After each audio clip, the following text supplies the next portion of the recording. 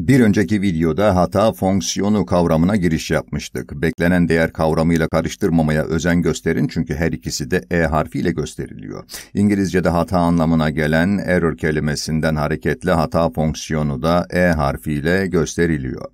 Hata fonksiyonu yerine bazen kalan fonksiyonu tabiri de kullanılır. Bir önceki videoda tüm bunlara detaylı bir şekilde değinmiştik. Hata fonksiyonunun fonksiyonun kendisiyle onun yakınsaması arasındaki fark olduğunu da görmüştük. Örneğin burada gördüğünüz mesafe x eşittir b noktasındaki hatadır. Biz aslında bu farkın mutlak değeriyle ilgileniyoruz çünkü bazen fx polinomdan büyüktür, bazen de polinom fx'ten. Bizim asıl ilgilendiğimiz bu ikisi arasındaki mutlak uzaklık. Bu videoda hata fonksiyonunu herhangi bir b noktasında sınırlandırıp sınırlandıramayacağımızı göreceğiz. Hata fonksiyonu b noktasında örneğin bir k sabitinden küçük ya da ona eşit olabilir mi buna bakacağız. Bu b'nin de a'dan büyük olduğunu varsayacağız. Bir önceki videoda biraz kışkırtıcı bir sonuca ulaşmıştık ve hata fonksiyonunu sınırlandırabilme olasılığımız olduğunu söylemiştik. Hata fonksiyonunun n artı birinci dereceden türevinin fonksiyonun n artı birinci dereceden türevine eşit olduğunu da görmüştük. Tabii mutlak değerleri de birbirine eşittir. Fonksiyonun n artı birinci dereceden türevini belirli bir aralıkta sınırlandırmayı başarabilirsek ki bu aralık bizim için anlamlı bir aralık olmalı, örneğin b'yi içermeli. Evet bunu başarabilirsek hata fonksiyonunun n artı birinci dereceden türevini de sınırlandırmayı başarabiliriz demektir. Ardından biraz integral uygulayıp hata fonksiyonunu b noktasında sınırlandırabiliriz. Gelin şimdi bunları yapmaya çalışalım. Öncelikle fx'in en artı birinci dereceden türevi hakkında bazı şeyleri bildiğimizi varsayalım. Henüz kullanmadığım bir renk bulayım. Evet, beyaz olsun. Bu çizdiğim grafik fx'in en artı birinci dereceden türevinin grafiği olsun. Ben bu grafiğin yalnızca bu aralıktaki bölümüyle ilgileniyorum çünkü ne de olsa onu burada gördüğünüz b noktasında sınırlandırmak istiyorum. Bu fonksiyonun mutlak değerinin, şuraya yazayım, bu fonksiyonun n artı birinci dereceden türevinin mutlak değerinin, heh, özür dilerim küçük n yerine büyük n yazdım. Önceki videoda da büyük n ile yazmışım. Küçük n olmalıydı. Umarım aklınızı karıştırmıyorumdur. Peki, bu fonksiyonun n artı birinci dereceden türevinin mutlak değerinin bir üst sınırı olduğunu varsayalım x belirli bir aralıkta yer almak koşuluyla fonksiyonun bir m değerinden küçük ya da ona eşit olduğunu varsayalım. x'in bir aralık içinde yer alması önemli. Fonksiyon tüm x'ler için sınırlandırılamayabilir ama biz bu aralık içinde kalan x'ler için bir üst sınırı olup olmamasıyla ilgileniyoruz. Bunu yazarak ifade edelim. x, a ile b aralığının bir elemanıdır. Aralık hem A'yı hem de B'yi içeriyor. Bu bir kapalı aralık. X A'ya eşit olabilir, B'ye eşit olabilir ya da bu ikisi arasında yer alabilir. Genel ifadeyle bu türevin bir üst sınırı olduğunu söyleyebiliriz. Yani bu M üst sınırdır. Bu fonksiyon sürekli ise bir üst sınırı olması gerekir. Bunu zaten biliyoruz. O halde bu fonksiyonun sürekli olduğunu kabul etmemiz gerekiyor ve böylece x bu gördüğünüz aralıkta yer almak koşuluyla bu fonksiyonun bir üst sınırı vardır. Altını çizdiğim bu ifadenin yani fx'in n artı birinci dereceden türevinin hata fonksiyonunun n artı birinci dereceden türevine eşit olduğunu biliyoruz. O halde şunu söyleyebiliriz. Ee, yeşille yazayım. Evet, şunu söyleyebiliriz. Hata fonksiyonunun n artı birinci dereceden türevinin mutlak değerinin üst sınırı da m'dir. İlginç bir sonuca ulaştık ama ilk başta yazdığımız ifadeyle pek de ilgisi yok. Benziyorlar, evet ama bu hata fonksiyonunun n artı birinci dereceden türevi. M'yi nasıl bulacağımızı ileride göstereceğim. Şu anda bir şekilde onu bildiğimizi kabul ediyoruz ama ileride onu nasıl bulacağımızı gösterdiğim sorular çözeceğiz. Hata fonksiyonunun n artı birinci dereceden türevinin mutlak değerinin üst sınırı olduğunu biliyoruz ama biz aslında hata fonksiyonunun bir üst sınırı olup olmadığını bulmak istiyoruz. Yani fonksiyonun ta kendisinin yani sıfırıncı dereceden türevinin de diyebiliriz. Bu ifadenin her iki yanının da integralini alıp e x'e ulaşabilecek miyiz görelim bakalım. Bu ifadenin her iki yanının da integralini alalım. Soldakinin integrali biraz ilginç çünkü mutlak değerli bir ifadenin integralini alacağız. Bir integralin mutlak değerini alsaydık çok daha kolay olurdu. Şanslıyız ki bu da çok zor değil. Yandaki bu boşluğa yazayım. Bu yazacaklarım üzerinde siz de kendi başınıza lütfen biraz düşünün. Elimde iki seçenek olsun. Biri bu olsun, diğeri de bu. Şu anda ikisinin de aynı olduğunu biliyorum. Buradaki mutlak değerli bir ifadenin integrali iken diğeri de bir integralin mutlak değeri. Şimdi bunlardan hangisi daha büyüktür dersiniz. Olasılıkları düşünün. İntegrali aldığımız aralıkta fx fonksiyonu daima pozitif işaretli ise bu ikisi birbirine eşittir. Sağdakinde pozitif işaretli bir ifade mutlak değerden yine artı işaretli çıkar ve onun integrali de pozitif olur. Soldakinde pozitif bir ifadenin integrali de pozitif olur ve artı işaretli bir ifadenin mutlak değeri yine artı işaretlidir. İkisi de aynı kapıya çıkar. Asıl ilgilenmemiz gereken bölüm fx'in negatif olduğu yerler. fx daima eksi işaretli ise bu x ekseni olsun, bu da y ekseni, evet. fx daima artı işaretli ise burada artı işaretli bir şeyin mutlak değeri var. Burada da artı işaretli bir şeyin mutlak değeri var. Yani her ikisi de pozitif. Bu iki ifade birbirine eşittir fx daima negatifse bu integral işleminin sonucu eksi işaretli olur ama ardından onun mutlak değerini alıyoruz. Bu işleme gelelim. Burada mutlak değer dışına artı işaretli çıkacağı için integral işleminin sonucu artı işaretli olur. Yani her iki işlemin sonucu birbirine eşit olur. Asıl ilginç durum fx'in hem pozitif hem de negatif işaretli olabildiği durumdur. Yani bu grafikte gördüğünüz gibi bir durum fx böyle bir fonksiyonsa, soldaki işlemle başlayalım. Grafikte x ekseninin üzerinde kalan bu alan pozitif, x ekseninin altında kalan bu alanda negatif işaretli ve birbirlerini sadeleştirirler. Yani bu işlemin sonucu mutlak değerinin integralini alırsanız elde edeceğiniz sonuçtan daha küçük olur. fx'in mutlak değerinin grafiği şöyle bir şeydir. Evet, tabii tüm bu dediklerim bu integral işlemlerinin belirli integral olması durumunda geçerli. Böyle bir durumda grafiğin altında kalan tüm taralı alanlar pozitif işaretlidir. x ekseninin üzerinde kalır.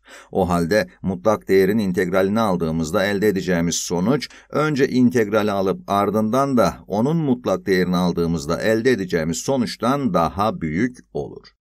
Tabii bu fx'in hem pozitif hem de negatif olabildiği durumlarda geçerli. Tekrar edeyim. Önce integral alırsanız böyle bir grafik elde edersiniz. Çünkü bu taralı alan ile bu taralı alan birbirini sadeleştireceği için bu yolla daha küçük bir sonuç elde edersiniz. Mutlak değer alma işlemini daha sonra uygulayacağınız için sonuç olarak elinizde daha küçük bir sayı vardır. Evet, genel bir tanım yapalım. Bir integralin mutlak değeri, mutlak değerin integrali işleminden küçüktür ya da ona eşittir. Burada yazdığımız bu ifadede mutlak değerin integrali var. Yani büyüktür ya da eşittir. Burada yazdığımız bu ifade. Evet. Yani büyüktür ya da eşittir mutlak değer içinde hata fonksiyonunun yani ex'in n artı birinci dereceden türevi çarpı dx. Bu eşitsizliğin kullanışlı olma nedeni de şu. Bunun bundan küçük ya da ona eşit olduğunu söyleyen bir eşitsizliğimiz var ve ben bunun yanı sıra elimizde hesaplayabileceğimiz bir de integral biliyorum. n artı birinci dereceden türev içeren bir ifadenin integrali n'inci dereceden türev içeren bir ifadedir. O halde bu ifade şuna eşittir. Mutlak değer içinde hata fonksiyonunun n'inci dereceden türevi. Beklenen değer demedim değil mi? İki kavramı karıştırmamalıyım. Baksanıza benim bile aklım karışıyor. Evet bu hata fonksiyonu. Aslında e yerine r kullansaydım daha iyi olurdu. Kalan fonksiyonu anlamına gelen r harfini kullanmalıydım ama neyse bu videoda e harfini kullanarak hata fonksiyonunu kastediyorum. Beklenen değeri değil. Tamam. Bu hata fonksiyonunun eninci dereceden türevidir. O da bundan küçüktür ya da ona eşittir. Bu da şundan küçüktür ya da ona eşittir. O halde devam edelim. M'in integralini almalıyız. M bir sabit olduğuna göre burası mx olur. Belirsiz integral aldığımız için bunların yanı sıra bir de sabitimiz olmalı. Bunu unutmamalıyız.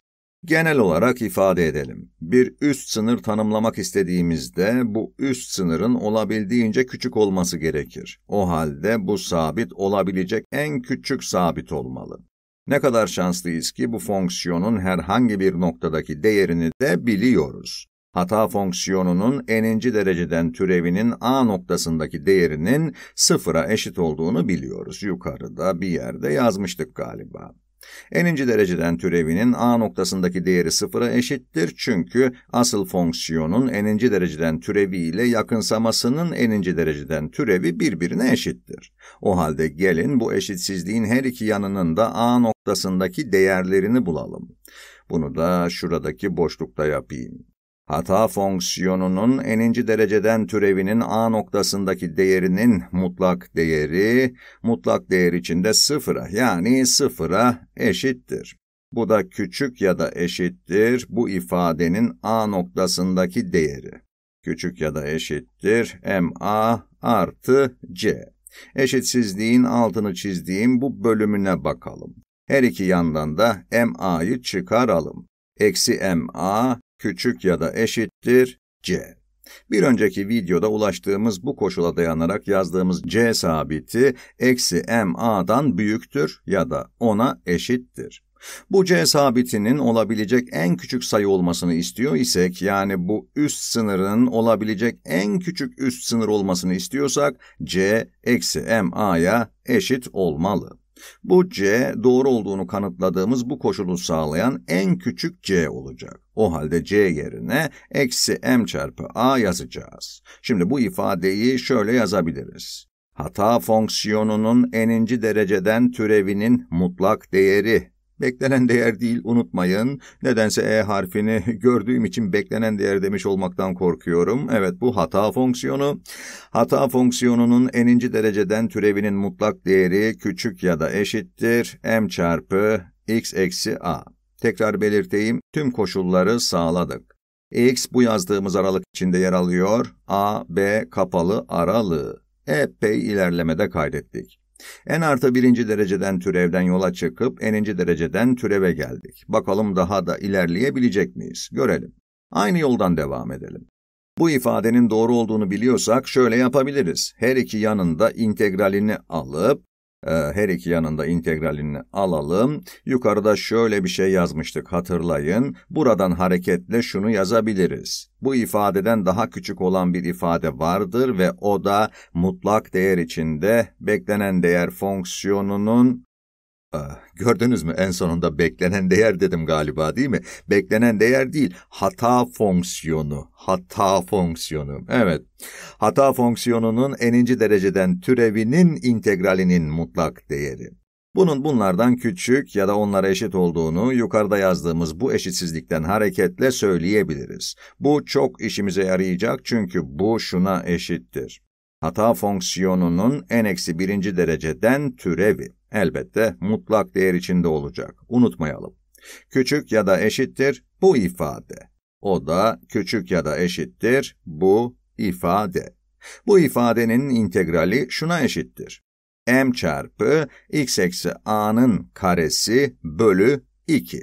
Dilerseniz burada U dönüşümü de yapabilirdiniz ama benim yaptığım gibi yapmak da çok kolay. Elimde bir ifade var, türevi 1'e eşit yani bunun U olduğunu farz edebilirim. Kuvvetini 1 arttırıp arttırdığım kuvvete bölersem integralini almış olurum değil mi? Şunu da tekrar belirteyim, belirsiz integral alıyorum. Bu nedenle de en sona artı C eklemeliyim. Aynı örüntüyü devam ettiriyorum. Bu eşitsizliğin her iki yanının da A noktasındaki değerini bulalım. Soldaki ifadenin A noktasındaki değerinin sıfıra eşit olduğunu biliyoruz. Yukarıda yazıyor. Bakın bir önceki videoda bulmuştuk. Evet bu boşluğa yazayım. Eşitsizliğin sol yanı sıfıra eşittir. Sıfır. Eşitsizliğin sağ yanının a noktasındaki değeri de m çarpı a eksi a'nın karesi bölü 2 yani 0 artı c. Sonuç ne oldu? 0 küçük ya da eşittir c. Daha önce yaptığımız gibi sabitimizin alabileceği en küçük değeri bulmak istiyoruz. Buradaki üst sınırın alabileceği en küçük değeri. Bu nedenle koşulları sağlayan en küçük c sabitini bulmalıyız. Koşulları sağlayan en küçük c sabiti de sıfırdır. Şöyle genelleştirelim. Yaptığımız bu işlemleri yapmaya devam edebiliriz. Ta ki tıpkı bu yaptığımız gibi integral almaya devam edebiliriz ta ki şunu elde edene kadar. Hata fonksiyonu yani ex. Bunun sıfırıncı dereceden türev olduğunu da düşünebilirsiniz. Sıfırıncı dereceden türevini yazana kadar aynı işlemleri yapmaya devam etmek gibi düşünün. Sıfırıncı dereceden türevi ne demek? Hata fonksiyonunun kendisini yazmak demek. Mutlak değer içinde ex küçük ya da eşittir. Peki buraya ne yazacağız? Evet örüntüyü kavramışsınızdır. m çarpı x eksi a'nın kuvvet olarak ne yazacağız? Bunun kuvvetiyle bunun türevinin derecesinin toplamı. n artı 1 olmalı. Bunun türevinin derecesi 0 olduğuna göre bunun kuvveti n artı 1 olmalı. Bunun kuvveti her neyse paydayı da ona uygun yazmalıyız. O halde payda n artı 1 faktöriyel olmalı. Faktöriyel de nereden çıktı şimdi diyebilirsiniz.